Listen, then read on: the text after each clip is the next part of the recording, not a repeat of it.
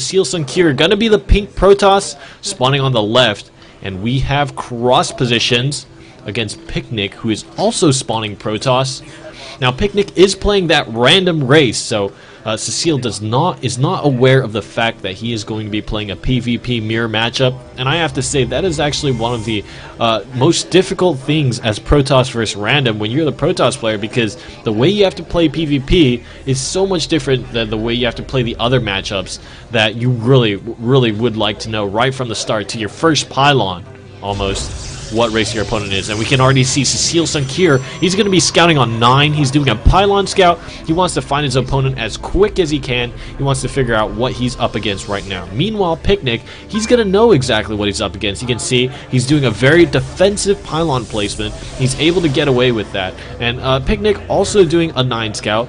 Pretty common in PvP. But, you know, I don't know if I necessarily like this so much because you reveal your race to your opponent that much quicker. And we do see that Cecil Sunkure is going to be scouting uh, second while uh, uh, Picnic scouted first. So going to be revealing his race a little bit earlier. And this way, Cecil Sunkure is going to be able to know, okay, well, I got to, you know, kind of play my build my buildings a little more defensively, get in a more defensive posture here.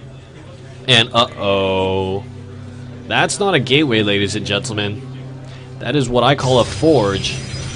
And uh, Cecil Sunkure getting his own forge. I like this. Defending that cannon rush uh, with your own cannons is a very, very, very effective method of handling that. Let's see how Picnic deals. Uh, let's see how Cecil Sunkure deals with this. I think he will be just fine.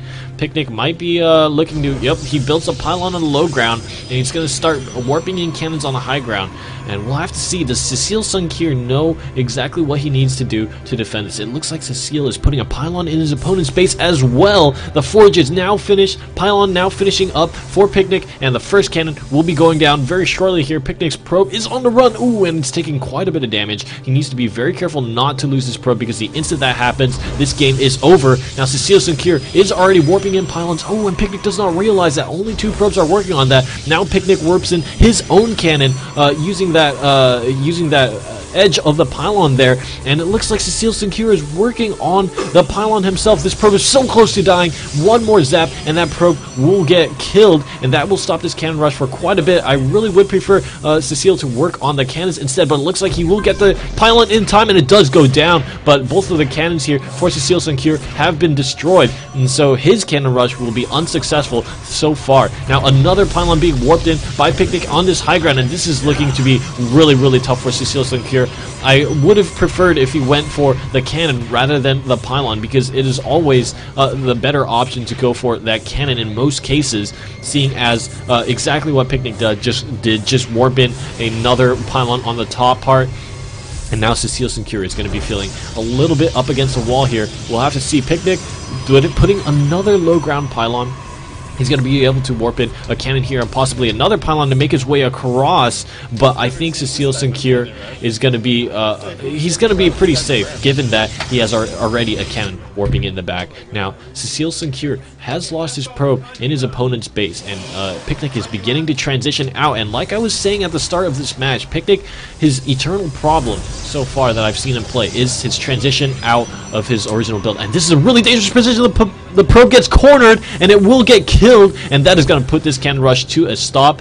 Cannon on the low ground, but it's not even going to matter, as there there's going to be no sight, and there's going to be no more probe here to build uh, that cannon. And Cecil Sunkure being very smart, canceling that pylon as it was slightly too close, and Picnic bringing two more probes here to continue his cannon rush. Now the Forge has been lost by Cecil Sunkure, and uh, he needs to he needs to figure out some way to stop uh, uh, this further uh, by this cannon.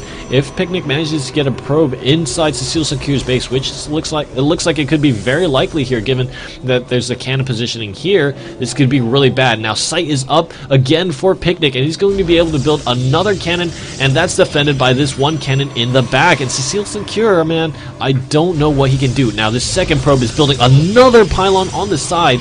Let's go take a look at Cecil Sunkure's vision. He has no idea this is happening. He can only see that this one cannon is warping in here. And what will he do to defend this? He has a Zealot on the way, but that's not going to be very useful against this uh, one cannon position here. He can put a cannon back in his mineral line, but oh, and it looks like very nice positioning in that cannon eventually. and uh, Cecil Sunkure has absolutely perfect positioning on his cannons on the side. Uh, and it looks, it seems like Cecil Sunkure is gonna be pretty well defended here. We'll have to see. This is a pretty intense situation here, and I've so far I've been impressed. You know, I've been feeling kind of nervous for Cecil, but uh, he's done some impressive uh, uh, maneuvers to stop this cannon rush from doing maximum damage. Picnic having to cancel. Oh, and the Stalker is now that's going to be able to snipe uh, uh, the worker here. But what will Picnic do? what will Cecil do about these two cannons warping in? It looks like he is in range to do damage to them, so he is going to be fine. And amazingly enough, it seems like he has defended this cannon rush so far. The only issue is this one cannon shooting his gas, but Cecil already has the second gas up and ready to be mined from. Here comes one Stalker from Picnic. I'm curious what he wants to do with this Stalker. And it looks like Warpgate, yep, just like uh, uh, Edward Starcraft is saying in the back, Warpgate Tech is finishing up for Picnic. And so Warpgate only just now on the way for Cecil. It's like 60% done, 70% done, and it looks like he will snipe another unit there. And Picnic has his Stalker in position, ready to uh, uh, assist any warping in units. And we do have a Twilight Council coming. Could it be Blink Stalkers? I highly doubt it would be Dark Templar, as there are already cannons ready here to do their old detecting uh, action there. And Warpgate's now finished for Cecil. His gateways are kind of late. Oh, Picnic already has four gateways ready to go he's going to warp in on this side, and oh my god, the situation just turned a lot worse for Cecil, but he does have cannons up. Uh, that's possibly going to allow him to hold this off for a little more, but he chrono boosts into an empty war, uh, into an empty cyber core. He's going to try to snipe this pylon off, but these stalkers are in jeopardy right now. There's a lot of stalkers out for Picnic, and they do get the first shot off. Cecil needs to use his cannons in conjunction with his stalkers to defend his push, but very nice positioning for Picnic. These stalkers are caught in the back uh, next to the assimilator here, and Cecil is going to have to pull probes, and good game. And like I said, my goodness, Picnic transitioned out of that cannon rush just in time to help them get that warp gate research earlier. And I really like what he did there. Uh, the cannon rush ended up being successful despite the fact that Cecil did uh, kind of uh, a nice solid defense, I would say, but uh, just not quite effective enough to stop the follow-up. So with